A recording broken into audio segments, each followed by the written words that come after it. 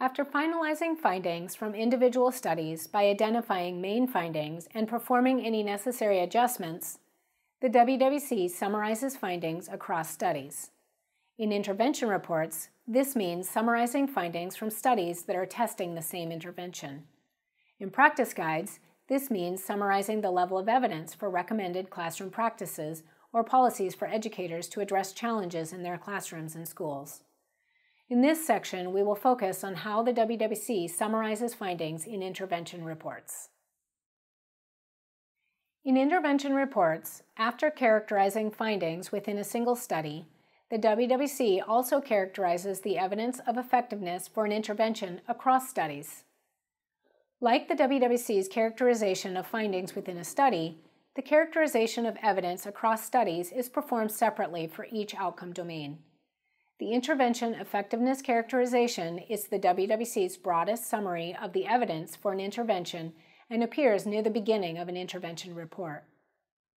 There are six possible characterizations an intervention can receive positive effects, potentially positive effects, no discernible effects, mixed effects, potentially negative effects, and negative effects. It is possible for an intervention to meet the criteria for multiple characterizations. The WWC assigns the intervention the highest effectiveness rating for which it is eligible. We will not go into detail about the criteria in this module. The Procedures Handbook describes the criteria for each of the six ratings. The criteria are based on the study level characterizations of evidence within outcome domains as well as the study ratings. For example, for an intervention to receive a rating of positive effects in an outcome domain, two or more studies must show statistically significant positive effects, at least one of which is rated meets WWC group design standards without reservations, and no studies can show statistically significant or substantively important negative effects. The WWC also designates an extent of evidence rating for each domain to describe how much evidence the WWC used to determine the intervention effectiveness rating. The extent of evidence is an indication of how likely the findings are to generalize to other settings, also called the external validity of the findings. The WWC bases the extent of evidence on characteristics of the studies contributing to the intervention rating. The extent of evidence is designated as either medium to large or small. To receive an extent of evidence rating of medium to large, a domain must include more than one study, include more than one setting, and have a total sample across studies of at least 350 students, or assuming 25 students in a class, at least 14 classrooms. If a domain does not meet all the conditions, it receives an extent of evidence rating of small. Near the beginning of every WWC intervention report, you will find a table that summarizes findings. This enables readers to see the effectiveness of the intervention quickly. Here is a summary table from the Reading Recovery Intervention Report. The summary table reports findings summarized at the level of outcome domains. In this intervention report, the table reports on four outcome domains alphabetics, reading fluency, comprehension, and general reading achievement. For each of the four domains, the WWC reports six pieces of information in the table. First, the table reports the rating of effectiveness.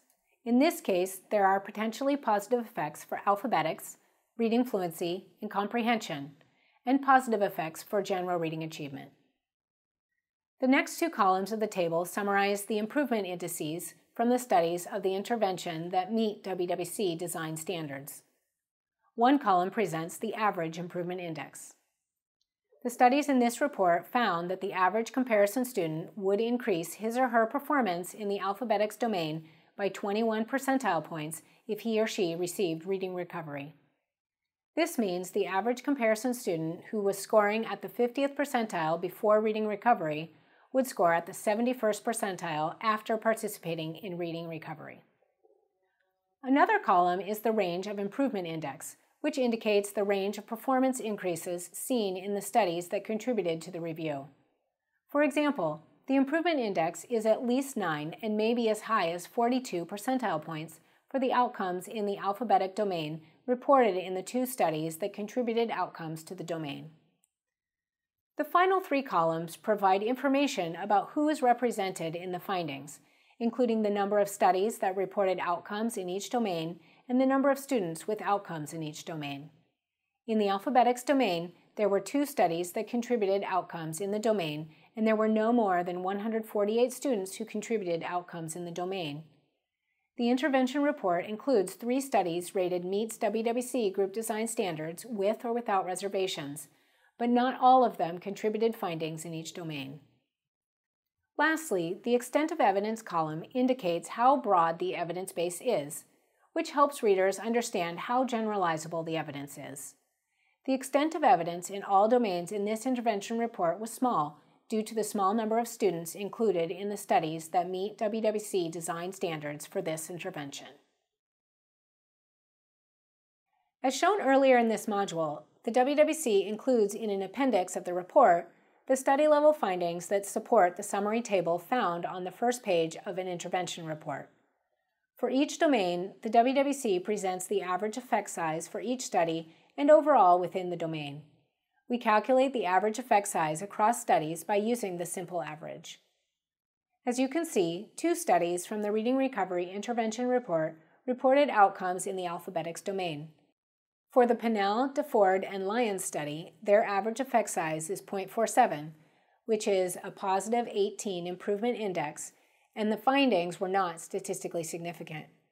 By contrast, the Schwartz study reported an average effect size of 0.62, improvement index of positive 23, and was statistically significant. The domain average across all studies is 0.55 with an improvement index of positive 21. The WWC does not calculate the statistical significance of the average across studies.